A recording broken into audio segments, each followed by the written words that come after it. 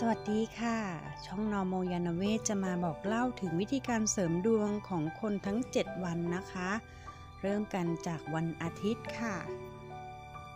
บุคคลที่เกิดวันอาทิตย์มักมีรูปร่างธรรมัดทแมง แข็งแรงและสง่างามยิ่งนัก ไม่ว่าจะเป็นหญิงหรือชายล้วนแต่มีไหล่ตั้งตรงได้รูป กล้ามแขนใหญ่บอกถึงสภาพร่างกายที่แข็งแรง ข้อดีของคนเกิดวันอาทิตย์คือ มีความรับผิดชอบสูง จริงใจ ซื่อสัตย์สุจริต มีความอดทนทะเยอทะยานไปข้างหน้า แต่ก็มั่นคงจึงทำให้เป็นที่ยอมรับในสังคม มีเกียรติมีศักดิ์ศรี ส่วนข้อเสียคือบางครั้งก็เป็นคนที่เคร่งเครียดมากเกินไป ก้าวร้าว บ้าอำนาจ ถือตัว อวดดีและเย่อหยิ่ง งานที่เหมาะสมกับคนเกิดวันอาทิตย์ก็คืองานระบบราชการหรือรัฐวิสาหกิจ เพราะความมีวินัย งานระบบราชการ รวมถึงงานระบบเงินเดือนทุกชนิด ประเภทเช้าไปเย็นกลับตามเวลากำหนด หรือตามระเบียบข้อบังคับต่างๆ ชาววันอาทิตย์มักทำได้ดี เพราะถือว่าตรงตามบุคลิกของตนเองเป็นสำคัญ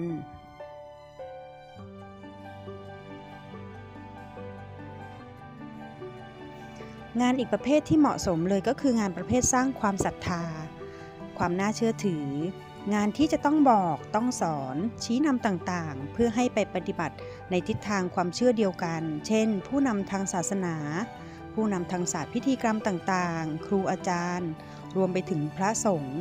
หรือผู้ที่มีหน้าที่ส่งเสริมในเรื่องคุณธรรม และเผยแพร่ความรู้ เพราะคนวันอาทิตย์เป็นคนจริงจังมุ่งมั่น มีระเบียบแบบแผน แต่งกายดี มีความสุภาพ และตรงไปตรงมา ซื่อตรง วางตัวดีน่าเกรงขาม เป็นบุคคลน่าเชื่อถือ น่าศรัทธายิ่งนัก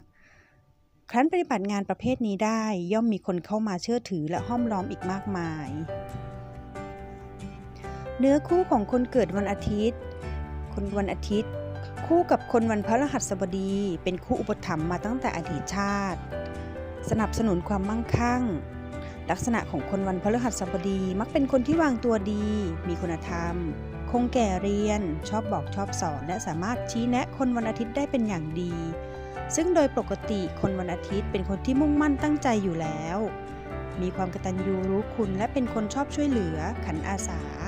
จึงมักเป็นที่ถูกใจของผู้ที่เกิดวันพฤหัสบดี จึงทำให้ทั้งสองช่วยกันประคับประคองชีวิตไปอย่างมีระเบียบแบบแผน ตามที่ผู้ใหญ่หรือบรรพบุรุษได้วางกฎเกณฑ์ไว้ ครั้นคนวันอาทิตย์จะออกนอกลู่นอกลอย ก็จะได้คนวันพฤหัสบดีช่วยชี้นำจึงเป็นคู่ครองที่รักกันยืนยาวตลอดไปจนวันตายสำหรับคนเกิดวันอาทิตย์คู่กับวันศุกร์เป็นคู่ส่งเสริมเกื้อกูล ความสมบูรณ์คูณสุข คนวันอาทิตย์กับวันศุกร์นั้น ตามตำราบ่งบอกไว้ชัดเจนว่าเป็นคู่แห่งผลประโยชน์และความก้าวหน้า คนวันศุกร์มักเป็นคนยิ้มแย้มแจ่มใส เพราะเป็นคนธาตุน้ำ มีอัธยาศัยไมตรีเป็นเลิศ รักความสวยงาม รักความหรูหรา จึงมักแต่งกายดีมีมาตรอยู่ตลอดเวลา เป็นเจ้าแห่งความคิด ครั้นคนเกิดวันอาทิตย์ได้คนวันศุกร์มาช่วยวางแผน อาศัยความมุ่งมั่นตั้งใจจริงของคนวันอาทิตย์ ผลประโยชน์ย่อมไม่หนีไปไหน สามารถสร้างฐานะได้อย่างมั่นคง มาถึงเรื่องสุขภาพและโรคภัย คนที่เกิดในวันอาทิตย์มีความอดทนอดกลั้น เก็บอารมณ์ได้ดี แต่คนที่เก็บอารมณ์เอาไว้มากๆ จะทำให้เป็นคนเคร่งเครียด อาจทำให้เป็นโรคเกี่ยวกับเส้นเลือดผิดปกติ หรือความดันทำให้ปวดศีรษะหรือสมองทำงานผิดปกติ อีกในหนึ่งคืออารมณ์ร้อนแรง จริงจังโมโหร้าย ในบางเวลาก็จะมีปัญหาเรื่องสายตา อาจทำให้สายตาฝ้าฟาง หรือตาเป็นต้อก็เป็นได้ สิ่งที่ควรระวังอีกอย่างหนึ่งนั้นคือโรคเกี่ยวกับข้อเท้า อาจพลิกแพลงได้ง่าย หรือเท้าอักเสบ ฉะนั้นโรคที่เกี่ยวกับศีรษะหรือว่าเท้าและดวงตามักจะเกิดกับคนวันอาทิตย์เกือบทั้งหมด อุบัติเหตุที่ควรระวังของคนเกิดวันอาทิตย์คือ อุบัติเหตุเกี่ยวกับการล้ม ศีรษะฟาดพื้น เป็นลม วิงเวียนหน้ามืดบ่อยๆ โรคตาแดงปวดตา ข้อเท้าพลิกแพลงง่าย หรืออุบัติเหตุที่ทำให้ส่วนข้อเท้า ขาดหรือพิการ เครื่องประดับเพื่อเสริมความสำเร็จสำหรับคนเกิดวันอาทิตย์ ให้ใส่เป็นนาฬิกาข้อมือทรงสี่เหลี่ยมนะคะ แล้วก็แขวนพระรูปทรงสี่เหลี่ยม โดยเฉพาะการแขวนพระสั้นติดคอ เพราะตั้งแต่คอ ศีรษะหมายถึงชีวิตและการงาน ถ้าหากไม่นิยมแขวนพระ ก็เป็นจี้รูปทรงสี่เหลี่ยม หรือจี้ที่เป็นสีแดงก็ย่อมได้ เพราะว่ารูปทรงสี่เหลี่ยม หรือสีแดงสีแสดนั้นจะทำให้คนที่เกิดวันอาทิตย์ตื่นตัวอยู่เสมอ สมองลื่นไหลคิดไวเฉียบแหลมสำหรับเครื่องประดับสำหรับเสริมการเงินและโชคลาภของคนวันอาทิตย์ ให้ใส่เป็นจี้ห้อยคอรูปวงรี สีฟ้าอ่อนๆแหวนรูปวงรี สีฟ้าอ่อนๆเช่นกัน คนเกิดวันอาทิตย์เป็นนักธุรกิจที่นิยมแสวงโชคลาภรักการค้าขายและขายไอเดีย หรือจินตนาการต่างๆ คุณเลือกใช้อัญมณีเป็นวงรีหรือเป็นรูปหยดน้ำมาสวมใส่บริเวณนิ้วหัวแม่มือด้านขวา แม้นหาไม่ได้ก็ให้ใช้สีฟ้าอ่อนๆแทนได้ ข้อมือทับทิมแดง ผู้หญิงที่เป็นนักธุรกิจควรเลือกทับทิมแดงสวมใส่เป็นข้อมือ หรือกำไรข้อมือ สำหรับผู้ชายอาจจะใช้แทนด้วยกำไรเงิน แต่ฝังพลอยทับทิมแดงรูปสี่เหลี่ยมสักเม็ดหนึ่งเครื่องประดับสำหรับเสริมเรื่องของสุขภาพ ให้ใส่เป็นจี้สีแดงอยู่ระหว่างอก เหมาะสำหรับคนที่เกิดวันอาทิตย์ที่เป็นโรคหัวใจ หรือเป็นโรคความดัน การสูบฉีดของหัวใจผิดปกติ ให้นำหินหรืออัญมณีสีแดง สวมไว้ให้ยาวถึงบริเวณกลางหน้าอก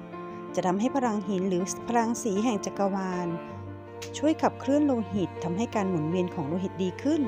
ช่วยผ่อนคลายความอึดอัด หรือความกดดันทั้งหมดภายในร่างกายให้เป็นปกติได้ สวมกำไรหยกสีเขียว หยกสีเขียวเป็นสีของพลังธาตุน้ำ ซึ่งน้ำช่วยชำระสิ่งสกปรก หรือชำระพิษร้ายในร่างกาย เพราะบุคคลที่เกิดวันอาทิตย์ที่มีปัญหาเรื่องของกระดูก หรือเลือดในกระดูก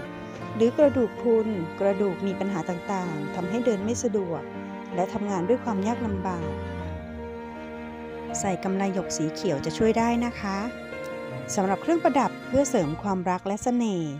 ให้ใส่เป็นจี้สีแสดอยู่ระหว่างเนินอก หรือแหวนสีฟ้าอ่อน ตรงนิ้วกลางด้านขวามือ จี้หยกหรือหินสีเขียว คนวันอาทิตย์นั้นมักเป็นคนที่แข็งกร้าว เพราะเป็นธาตุไฟนั่นเอง จะทำอย่างไรเนาะให้ไฟที่ลุกโชน ลดดีกรีความร้อนลงได้ นอกจากใช้น้ำเข้าสยบ การกระทำให้อ่อนหวานนุ่มนวลนนั้นคงทำได้ยากสำหรับคนวันอาทิตย์ สิ่งที่จะช่วยได้ก็คือการหาจี้หยก หรือหินสีเขียวมาสวมใส่ ให้ความยาวนั้นอยู่ระหว่างเนินอกจะช่วยให้ดูมีเสน่ห์ดึงดูดสายตาของเพศตรงข้ามได้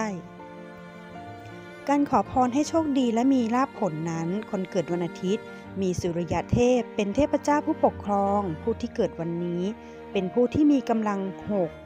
ครั้นจะบูชาควรใช้สิ่งของทุกอย่างที่เป็นสีแดงอย่างละหกอย่างเสมอ เช่น เทียนแดง ทูบแดง ธงแดง ดอกไม้สีแดง หรือผ้าปูโต๊ะสีแดง ใช้อย่างละหกค่ะ เป็นยังไงบ้างคะสำหรับผู้ที่เกิดวันอาทิตย์ ได้ฟังได้อ่านแล้ว มีความคิดเห็นยังไงก็อย่าลืม คอมเมนต์ให้ดูด้วยนะคะ ออกความคิดเห็นกันได้ จะได้นำมาปรับปรุงพัฒนาให้ดียิ่งขึ้นต่อไป แล้วก็ช่วยกดไลค์กดแชร์ กดติดตามช่องให้กำลังใจกันด้วยนะคะ ขอบคุณมากค่ะ สวัสดีค่ะ